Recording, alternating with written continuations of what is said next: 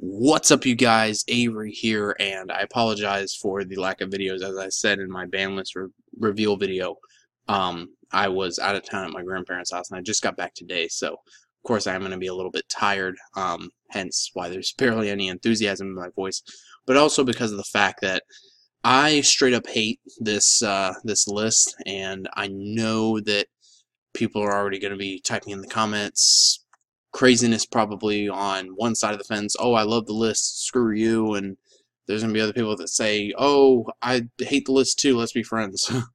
um, but I still wanted to actually sit down and talk to you guys about the list for a couple reasons. One, because I was freaking out in my initial reaction video saying that Zoo is still alive and all this stuff, and uh, Zoo's not really alive, you guys. It's it's definitely been put in check with Rat going to two. Kaiju Slumber didn't even need to go to two. You could have just put Rat to two and that put it in check.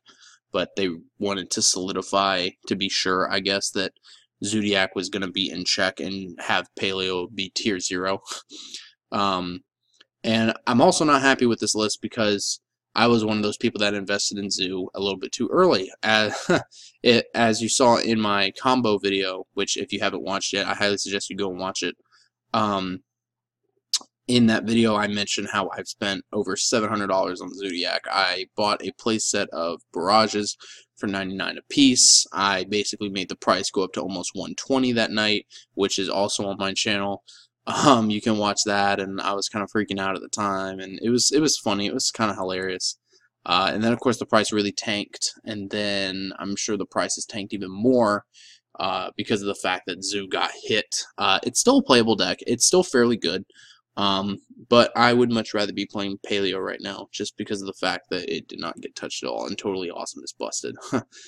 um, and uh, just th this list just leaves a sour taste in my mouth, you guys. Like, honestly, like, I'm very fed up with the game right now just because I've been testing and testing and testing and testing Zoo, and I feel that I know the deck inside and out. I feel like I'm one of the more better players of Zoo. Not trying to toot my own horn, but that's just how I feel. And then this list comes along and puts Zoo in check so hard that you basically have to relearn the deck. You have to relearn combos. You have to play it in such a way that if you screw up, there's no way you're going to be able to come back. And if you open up bad, you pretty much lose the game. Like I saw someone on Zodiac Duels put it that it's a glass cannon now, and that the kaiju variants are dead. I wouldn't say that the kaiju variants are dead. I'm I'm testing the kaiju build right now, and it's not terrible. Um, but the kaiju variants definitely took a hit.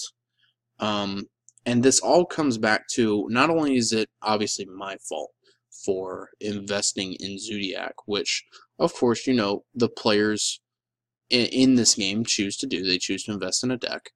But then why is it that Konami has to come along and screw us over for wanting to invest in their product, granted in the secondary market, but regardless, and don't even have the balls to give us an end date on the ban list. Like, I said this quite some time back, um, but I still stand true to this, that every single ban list that we get from here on out that does not have an end date is already a garbage list by default because we don't know what cards to buy, we don't know when to sell, we don't know what to invest in, and it's just, oh, you know, we drop a list whenever, you know, starting on April 2nd, if they see Imperial Order being played in every deck, they could be like, oh, emergency ban Imperial Order again, guys sorry, we made the price go up to $45 in the secondary market for no reason, even though Konami hates the secondary market, but they apparently also hate Capital G, so there's that.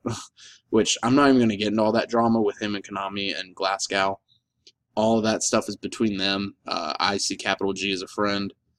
That and it's you know I'm leaving it at that. You know I have nothing but respect for the guy, and you know if there's drama going on in the Yu-Gi-Oh community, I'm staying away from it because right now I'm just trying to figure out how I'm going to recoup my losses with Zoo and the whale had to drink some water again. So, yeah, just this list was already garbage by default because they didn't have an end date. Um, I don't care whether Stratos comes back or not. Like, here, here's the thing with me and these ban lists. Like, sure, there's the memes of free my you know what Stratos. Um, Sangan came back to three, and everyone was saying back then, you know, free my you know what Sangan and all this other crap. And I honestly just didn't don't even care, just because of the simple fact that they had to go and bust. Where is it? This? Well, this I do care about, but not as much as this. It's it's just like, you know, it, it's just stupid. It, it's so asinine, and it's you know I think Robbie actually had a point when he said that Yu-Gi-Oh players are masochists because we love being in pain. Like we love wasting our money on these archetypes, and it was funny too because um, a few weeks ago before the list dropped, um, me and my dad were talking, and he said, "If this list drops and it completely kills your deck, I would not invest in any other deck ever again." And I was like, honestly, I'm kind of considering that. Um, the back then. Now, am I considering it now with Zoo? I mean, it's kind of a coin flip because they didn't kill the deck, they just more or less put the deck in check. The problem is, is that they hit the key card of the deck, they hit the best card in the deck to two, and it's like, it's like hitting Tengu. Like, if I remember correctly, they put Tengu from three to two at one point, and it just made the card so much worse because all of the plays that you had before with it basically just went out the window and you had to completely reteach yourself the best way to play Tengu. That's what we Zoo players have to do now. We have to completely reteach ourselves how to play Zodiac. Like, I was playtesting a hand, uh, or some hands earlier, just to, you know, goldfish and make sure that my deck was testing well. And, like, I was doing some weird crap with, like, freaking Tigermortar detaching to put another material on Drident just to make it beefier. And it's like, this is not how I want to play Zoodiac. This is not why I enjoyed playing the deck so much. I enjoyed playing the deck so much because the first turn combo was so busted and insane and just flat out fun. Like, I like being able to play a deck that just vomits out a board and says, Can you break my board turn one? If you can, okay, try and make a comeback. And just, I enjoyed that interaction. I don't know what it was, just it was entertaining to me. That's what I was into. And now I'm having to completely reteach myself how to play Zoo, and there's no builds to go by because the list is only two days old. And you know, I'll admit to you guys, I'm a net decker to to a degree. the The way that I make my decks usually is I'll look at the builds at top, like, you know, let's say uh, the YCS in Prague, I'll look at those builds at top, and I'll net deck it, and I'll play it, and I'll make changes accordingly based upon my playstyle. Will I copy it card for card? Not necessarily, unless I like every card for card, but the majority of the time that doesn't happen. Even when I was first getting into Yu-Gi-Oh! competitively and going to regionals and stuff, I figured out that I was like, hey, I can just, you know, build these decks card for card, play them, and then when I found something I didn't really like, I could just take it out. Simple as that. And, you know, people are obviously going to hate on me being a net decker and all that. No, this is what you deserve, and I, I don't really care. Honestly, I have uh, so few emotions and so few cares to give right now that it just it doesn't even matter just because of the fact I wanted to play my deck at full power, I wanted to be able to hopefully top my regional, and now like the percentage of me hopefully topping this regional and getting my invite went from like I would say maybe 80 to 85 percent. I feel like it dropped down to the maybe high 30 to 40, maybe 50 percent, but that's pushing it. Um, just because the fact now that you know, again, I have to reteach myself how to play this deck, and it again, it's my fault partially because I invested in the deck too early. Uh, but I also had to get the cards at some point so I could go to locals and playtest with my friends and stuff uh, and also go into tournaments and actually play test in a tournament scene so I'm not going into the regional cold, if that makes any sense. Um, but it's also Konami's fault for not letting us know when they're going to drop a list. They could have easily have just dropped a list right when Link Summoning came out.